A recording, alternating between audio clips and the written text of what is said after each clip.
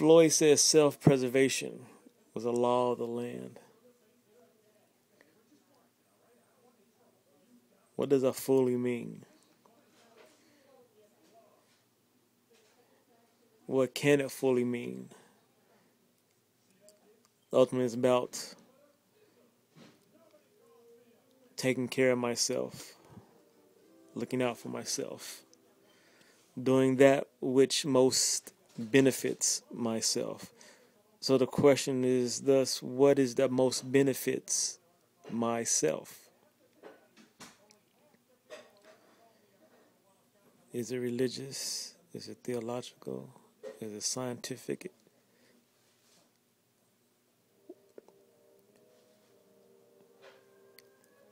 Self preservation. How can I preserve myself to the utmost?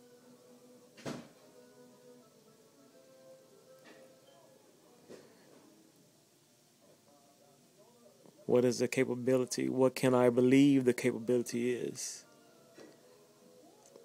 Is that the path to achieving this? I have to believe a certain level.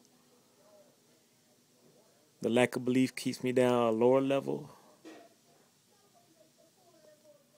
have to expand my belief, expand the level.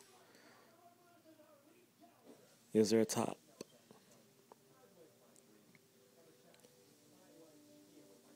Is there end?